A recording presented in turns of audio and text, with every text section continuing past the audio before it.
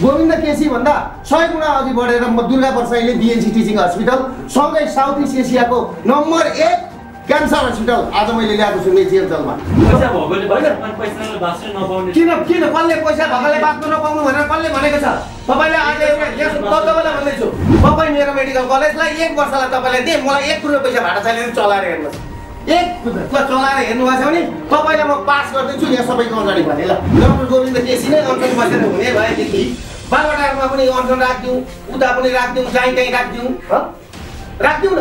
अनसनले हुन्छ। त्यही अनसन बस्नुभयो डाक्टर साहब। सबै कुरा भयो भनेर म सुदूरपूर्वमा गएको मेडिकल कलेज बनाउनु अहिले के थाहा छ त्यो संशोधन गर्नु पर्यो अरे त्यो। यो कुरा बुझ्नुहोस् हामीले छिनेका आठ छिनेका खुट्टा जोड्छौँ। हाम्रोमा ब्रेन ल्याबदेखि लिएर चाहिँ आज दक्षिण पूर्वी एसियाको उन्तिस सेकेन्डमा रेडिएसन दिने ट्रुबिङ मिसिन आज हामीले भित्राएका छौँ। यहाँ सुन्नुहोस् डाक्टर तपाईँ जस्ता नि मेरो छोरा पनि डक्टर छ छोरी पनि डक्टर छ। म डक्टर पढाउने मान्छे हुँ। र म आफ्नै म क्यान्सर रोगको पीडित पनि हुँ। गएको साल मैले सत्र करोड रुपियाँ ट्याक्स बुझाएँ। म माफिया भएँ। आज एक हजारजना मान्छेलाई रोजगारी दिएको छु। म माफिया भएँ। युवा निस्किन्छ एमबिबिएस गर्नलाई जहिले लफडा गरेको छ। आज दस वर्ष भयो यो लफडा भएको। जहिले गोविन्द केसीको भन्छन् जहिले गोविन्द केसी भन्छन् डाक्टर साहबका माग राम्रा छन् डाक्टर साहबका माग राम्रा छन्। के राम्रा छन् डाक्टर साहबका माग?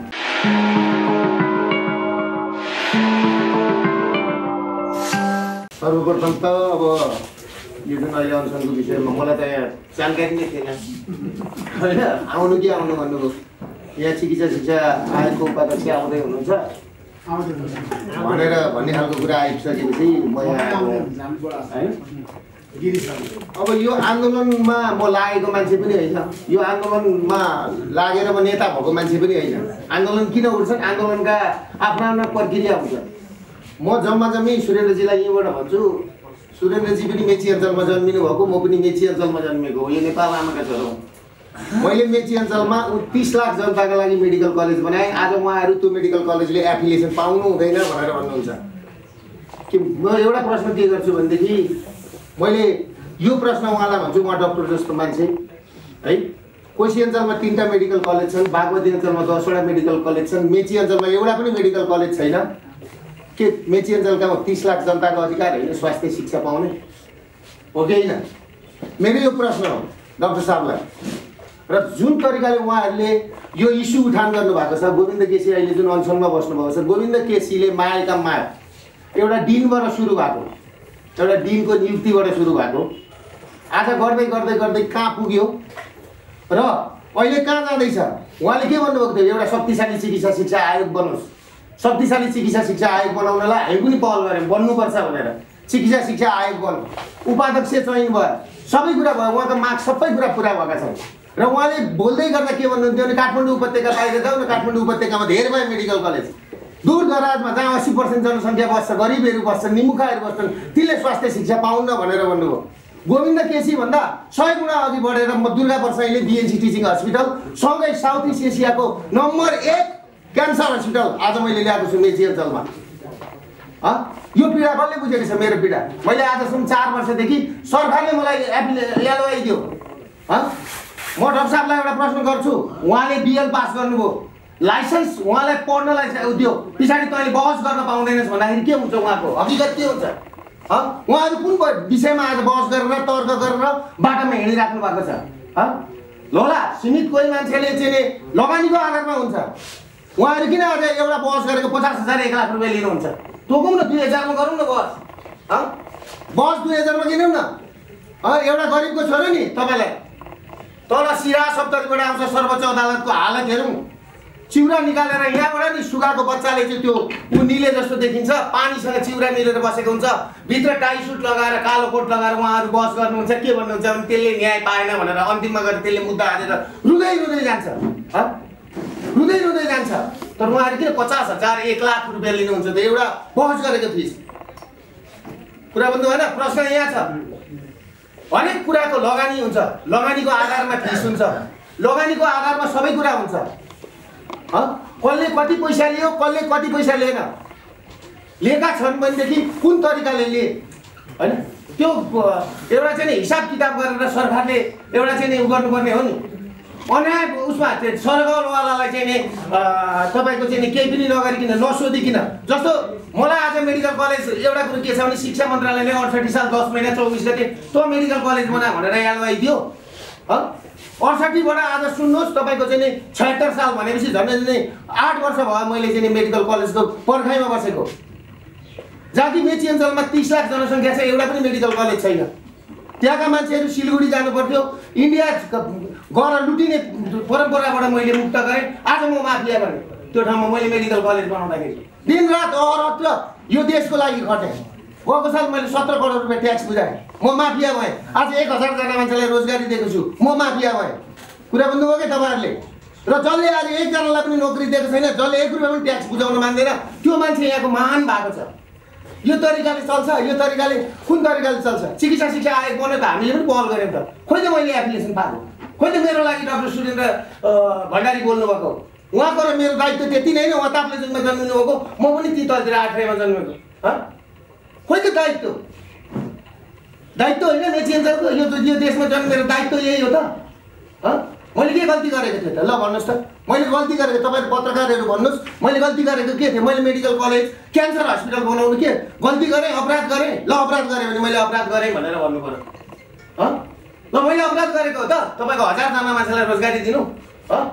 आज रोजगार नपाएर एउटा देश छ साठी लाख युवा युवती विदेश विदेशमा छन्। एक लाख पैसा कन्भर्ट नदेखेर नि तपाईँको त्यो एक लाख कमाउनलाई जान्छ बाक्सामा प्याक भएर आउँछ। जहिले सिजन आउँछ जब एउटा युवा निस्किन्छ एमबिबिएस गर्नलाई जहिले लफडा गरेको छ। आज दस वर्ष भयो यो लफडा भएको। जहिले गोविन्द केसीको भन्छन् जहिले गोविन्द केसी भन्छन्। डाक्टर साहबका माग राम्रा छन् डाक्टर साहबका माग राम्रा छन्। के राम्रा छन् डाक्टर साहबका माग? उहाँले भनेको चिकित्सा शिक्षा आयोग उहाँले पचहत्तर पर्सेन्ट तपाईँको चाहिँ अहिले फ्री भन्नुभयो नि। सबै पैसावालाका छोराछोरीले पास गरेर पढ्छन् त्यहाँ। गरिबका छोराछोरीले एउटै पढ्न पाउँदैन। हाम्रो भनाइ के हो? विदेशी विद्यार्थी पनि ल्याउँ नेपाली विद्यार्थी पनि पढाउँ दुई सय पढाउनु ठाउँमा तिन सय पढाउँ। विदेशी विद्यार्थी ल्याउनु दुई सय। करोड करोड रुपियाँ आइसी आउँछ देशमै भित्रिन्छ। हस्पिटल फ्री गरिदिउँ। सयजना विद्यार्थी फेरि नेपालीका छोराछोरी फेरि पढाउँ भन्ने हामी अनि हामी माफिया। अनि डक्टर गोविन्द केसीको माग राम्रो छ? माग राम्रो छ। उहाँले भनेको कुरा सबै मान्नुपर्छ सबै मान्नुपर्छ। यस्तो पनि हुन्छ। ल भन्नुहोस् के माग राम्रा छन् गोविन्द केसीका? ल भन्नुहोस् त। पचहत्तर पर्सेन्ट। यति धेरै व्यापार कसरी शिक्षा के चिजमा व्यापार छैन भाइ नेपालमा? के चिजमा? पैसा भएकोले किन किन कसले पैसा भएकोले बाँच्न नपाउनु भनेर कसले भनेको छ? तपाईँले आज एउटा तपाईँलाई भन्दैछु। पैसा कसरी बाँच्न पाएन पैसा नहुने? आज हाम्रो बिएनसी हस्पिटल यहाँ सुन्नुहोस् ढाकामा जानुहोस् बुझ्नुहोस्। तपाईँ होला होला। यहाँ सुन्नु न होला। होला गोविन्द केसीको पचहत्तर पर्सेन्टले नि। कसले नाम निकाल्दैछ हेर्नुहोस् होइन? कस कस कस्ता घरनाका मान्छेले नाम निकाल्दो रहेछ होइन? दार्चुलाको एउटा चाहिँ मान्छेको छोराले नाम निकालेछ भने त्यो दिन मसँग आउनुहोस् कुरा गर्न ल भाइ। त्यो दिन मसँग कुरा गर्न आउनुहोस्। मैले डक्टर तपाईँ डक्टर यहाँ सुन्नुहोस् डक्टर। तपाईँ जस्ता नि मेरो छोरा पनि डक्टर छ छोरी पनि डक्टर छ। म डक्टर पढाउने मान्छे हुँ। र म आफ्नै म क्यान्सर रोगको पीडित पनि हुँ। म क्यान्सरबाट म सेलिब्रिटी भएर हिँडेको छुइनँ। क्यान्सर हस्पिटलले ल्याएँ यो देशलाई होस् भनेर। र तपाईँले के बुझ्नुहोस् भने नि म एउटा हस्पिटल सञ्चालक भएर पनि नि मैले तपाईँहरू जस्तो डक्टरको नि कस्तो कस्तो ऊ हुन्छ भन्ने कुरो त्यो पनि बुझेको छु। कुरा भन्नु होइन सबै कुरा बुझेर आएको मान्छे हुँ म दुर्गा पर्साई हुँ मेरो नाम। र मलाई पटक पटक माफिया माफिया भनेर भनियो होइन? तपाईँहरूले के बुझ्नुहोस् भने मैले कसैको पैसा कसैको उ गरेर ल्याएको चिज होइन। र तपाईँले के बुझ्नुहोस् भनेदेखि तपाईँ जम्मा एमबिबिएस गर्नुभएको होला होइन? मेरो छोरो पनि एमबिबिएस गरेर अहिले एमआइटी युनिभर्सिटीबाट हस्पिटल म्यानेजमेन्ट गर्दैछ दिल्लीमा मैले हस्पिटल म्यानेजमेन्ट गरेर ल्याउँदैछु। तपाईँले त तपाईँ त मेरो छोरो समानको मान्छे हो। तपाईँले के बुझ्नु भएको छ?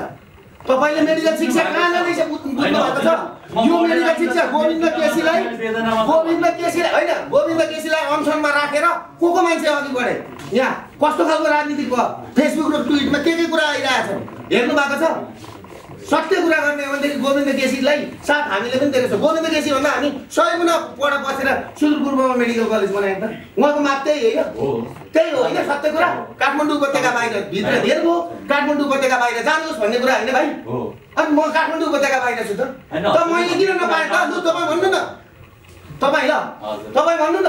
म गरिबका छोराछोरीलाई नि म पढाउन तयार छु। ल पठाउनुहोस् न। किन एप्लिकेसन दिनु हुँदैन? मैले आज पाँच वर्षदेखि पढाउनु पाएको थियो भने दस पर्सेन्ट पढाउँदा पचासजना गरिबका छोराछोरीले फेरि पढ्न पाउँथे त्यो बन्देज मैले गराएको कि तपाईँहरूले गराएको? ल भन्नुहोस्। अनि जतिखेर पनि मजाक गर्ने त्यस कारणले गर्दाखेरि यो कुरामा तपाईँ नजानुहोस् है।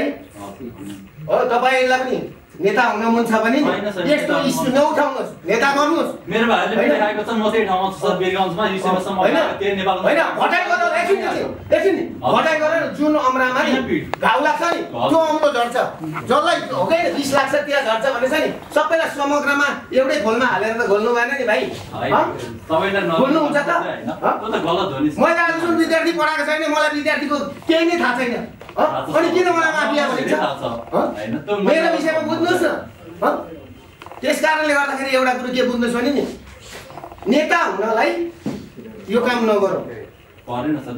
नेता हुनलाई यो काम नगरौँ। सबैजनालाई म के भन्छु भने मेरो आग्रह के छ भने म पत्रकार मित्रहरूलाई के भन्छु भने सबैभन्दा अन्याय र अत्याचारमा परेको मान्छे म हुँ र आज मेडिकल सेक्टरमा सबैभन्दा राम्रो यो मुलुकमा सबैभन्दा राम्रो मेडिकल कलेज सबैभन्दा राम्रो हस्पिटल बनाएर चलाउने मान्छे दुर्गा प्रसाईले हो। यो कुरा बुझ्नु होला यो कुरा यो कुरा बुझ्नुहोस् हामीले छिनेका आठ छिनेका खुट्टा जोड्छौँ। हाम्रोमा ब्रेन ल्याबदेखि लिएर चाहिँ आज दक्षिण पूर्वी एसियाको उन्तिस सेकेन्डमा रेडिएसन दिने ट्रुबिङ मिसिन आज हामीले भित्राएका छौँ। र तपाईँहरूमध्ये कसैलाई कुनै दिन क्यान्सर लाग्यो भने चाहिँ आउनुहोस् म नि शुल्क औषधि उपचार गरेर पठाउँछु। यो कुरा बुझ्नुहोस्। कुरा बुझ्नुहोस् नि? म देशमा लागेको यो देश यो देशको सम्पत्ति हो। बिएनसी मेडिकल कलेज भनेको पूर्वाञ्चल क्यान्सर भनेको यो देशको सम्पत्ति हो। र तपाईँहरूले जुन हिसाबले हामीलाई लाउनु भएको छ नि हाम्रो भावना त्यो होइन। हामी हस्पिटल फेरि बनाउनु भन्दैछौँ। हँ? शिक्षा र स्वास्थ्यको नाममा अरबौँ रुपियाँको बाहिर गइरहेको छ त आज कति? के भयो? अनि यहाँ ब्याङ्कमा पैसा छैन लिक्विडिटी छैन। देश कङ्गाल भयो भएको पैसा चाहिँ सबै बाहिर पठाएपछि अनि देश कङ्गाल हुँदैन। पचहत्तर पर्सेन्ट छात्रवृत्ति भन्यो सरकारले पैसा तिर्छ सरकारले पचहत्तर पर्सेन्ट तिर्छ कि बिमाको पैसा तिर्छ कि बाटो बनाउँछ कि हो? पुल बनाउँछ कि के के बनाउँछ सरकारले? सरकारले के के बनाउँछ? अनि कर्मचारीलाई तलब खुवाउँछ कि? ल भन्नुहोस् त। बाटोमा उभिएर भुक्न सजिलो छ होइन अरू कुरामा मैले केही कुरा विरोध गरेँ भने चाहिँ एउटा घुम्न सजिलो छ बाटोमा उभिएर क्लियर कुरा। ऊ त्यहाँ तल नि फुटबल खेल्दाखेरि नि भाइ माथि बसेर नि फुटबल क्लियर हुनुहोस् तपाईँहरू फुटबल हेर्छ हेर्नेले चाहिँ के भन्छ थाहा छ? त्यो घाममा फुटबल खेल्नेलाई ओहो छिराएन भन्छ। त्यहाँ गएर पट्टु र जुत्ता लगाएर फुटबल खेल्नुहोस् अनि थाहा हुन्छ। हाम्रो बिरानी तपाईँलाई थाहा हुन्छ? कुरा भन्नु भएन हजुर भन्नु न। म अरू कुरामा केही तपाईँहरूको प्रश्न सोध्नु। सोध्नुहोस् तपाईँहरूका प्रश्नका हरेक प्रश्नका जवाब दिन्छु म। हरेक प्रश्नका। होला कसैले फटाइ गरेको छ टेबल मुनिबाट पैसा लिएको छ हो? हिजो अस्ति नि तेह्र वर्षमा बिहा गर्ने चलन थियो मेरोमा गाउने र सातवटी बुढी ल्याउने चलन थियो। अहिले यहाँ कानुन लगाएर हुन्छ? आजको कानुन लगाऊ न चिकित्सा शिक्षा आयोग बनाऊ। अब आयोगले चाहिँ फिस निर्धारण गरोस्? कलेजहरू निर्धारण गरोस्। सबै कुरा गरोस् न। त चिकित्सा शिक्षा आयोगलाई काम गर्नु दिएको खोइ त। गोविन्द सर डक्टर गोविन्द केसी नै अनसन बसेर हुने भएदेखि बालवाटारमा पनि अनसन राखिदिउँ उता पनि राखिदिउँ जहीँ तहीँ राखिदिउँ हँ? राखिदिउँ न। अनसनले हुन्छ। त्यही अनसन बस्नुभयो डाक्टर साहब। सबै कुरा भयो भनेर म सुदूरपूर्वमा गएको मेडिकल कलेज बनाउन अहिले के थाहा छ? त्यो संशोधन गर्नु पर्यो अरे त्यो। त्यो संशोधन भनेको एउटा युनिभर्सिटीले पाँचवटा भन्दा दिनु हुँदैन अरे। त एउटा युनिभर्सिटीले पाँचवटा भन्दा दिनु हुँदैन भने नि अहिले एउटाले बाह्रवटालाई दिएको छ। एउटाले सातवटालाई दिएको छ। ती दिएका के गर्ने? हँ? दिएकालाई के गर्ने? खोसेर फ्याँक्ने त। हो गाउँ गाउँमा मेडिकल कलेज खोल्नु न भाइ तपाईँले पनि पाउनु भएको छ त खोल्दा किन खोल्नु हुँदैन? पाउनु भएको छ त। किन खोल्नु हुँदैन? हाम्रो चाहिँ हाम्रो। माग चाहिँ के भन्दाखेरि नेपाल सरकारले नै आफ्नो मेरा भाइ यो अमेरिकाले पनि नसकेको चाइनाले पनि नसकेको। तपाईँले यसो गर्दा हुँदैन कि?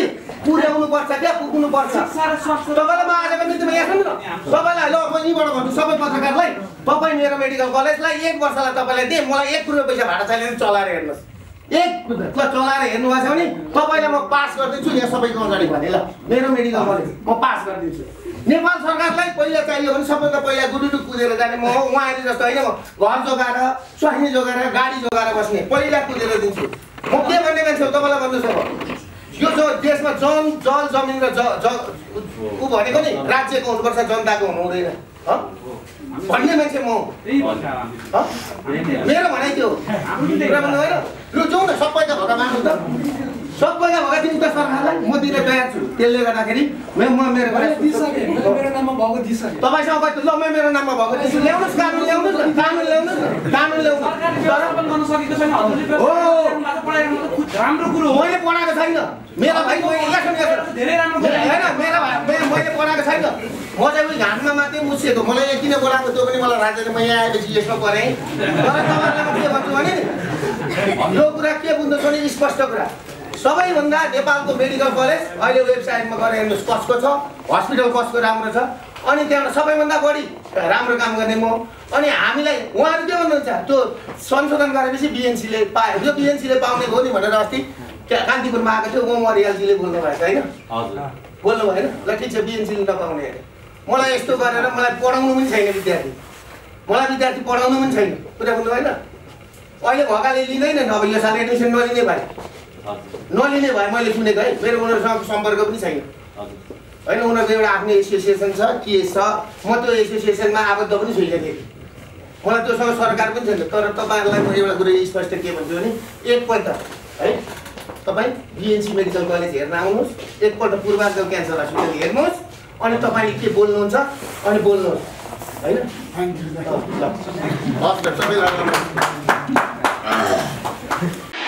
ल।